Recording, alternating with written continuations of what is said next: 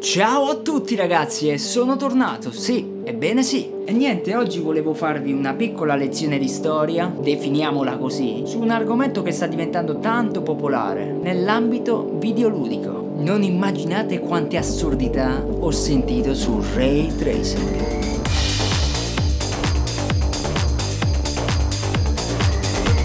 Quindi, cos'è il ray tracing? In parole povere. Scopriamolo!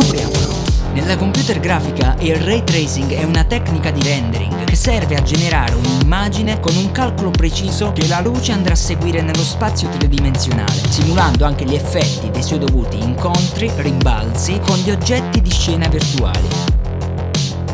Questa tecnica è in grado di produrre un alto grado di realismo visivo, ma ad un costo in prestazioni maggiore. Il ray tracing è sempre stato utilizzato nel mondo del cinema, dell'animazione e dal 2019 circa è arrivato anche nei videogiochi, prima sul PC e in forma ridotta sta arrivando anche sulle nuove console. Il ray tracing è in grado di simulare una varietà di effetti ottici, come fenomeni di riflessione e rifrazione, diffusione e dispersione. Potrebbe anche essere utilizzato per tracciare il percorso delle onde sonore, rendendolo un'opzione praticabile per un sound design di videogiochi più coinvolgente.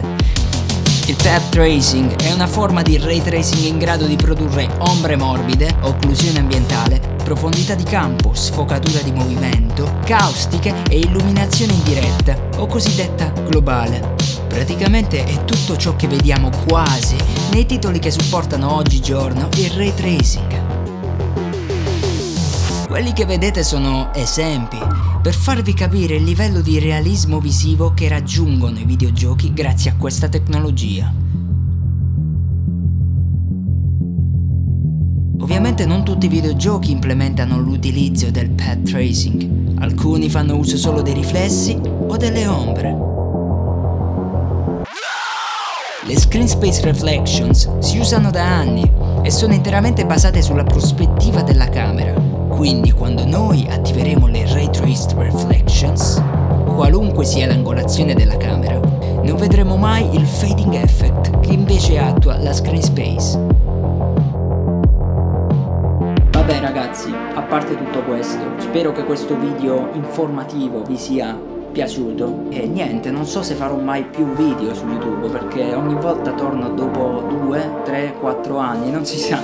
Comunque, alla prossima!